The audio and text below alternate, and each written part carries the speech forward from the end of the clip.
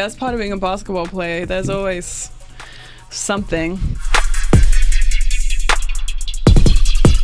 I looked at who he followed on Twitter and I was like, ah. these aren't the kind of girls that I think are very good. I don't think I want to go out with him.